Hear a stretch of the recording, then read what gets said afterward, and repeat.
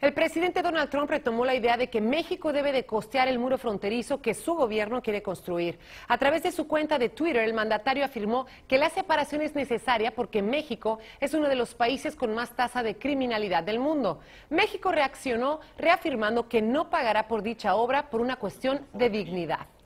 Así es, bueno, esta mañana desde las 8 de la mañana la prensa fue eh, permitida entrar a, a la corte aquí en Brooklyn, al sur de Manhattan, y